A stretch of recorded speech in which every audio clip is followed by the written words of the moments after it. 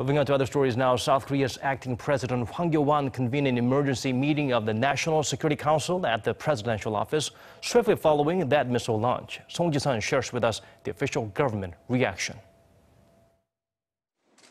At the National Security Council meeting, South Korea's Prime Minister Hwang Kyo-ahn condemned North Korea's missile launches as a direct challenge and great provocation to the international community.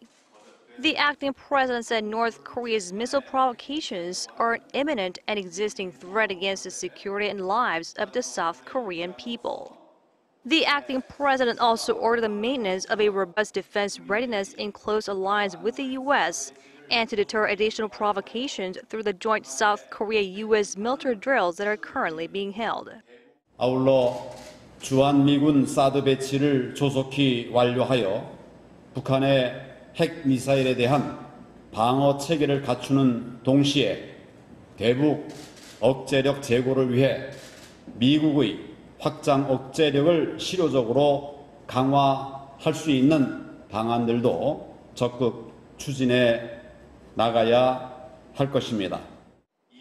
Hwang recently convened a National Security Council meeting after the murder of Kim Jong-nam, but this was the first time the acting president chaired a meeting at the so-called underground bunker of Cheongwade since he assumed the duty in place of suspended President Park Geun-hye.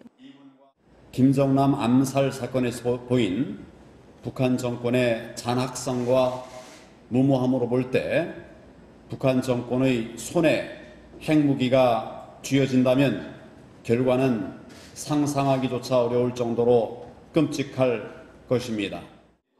Hwang pledged to focus Seoul's diplomatic efforts so that the international sanctions are practically and strongly implemented on North Korea.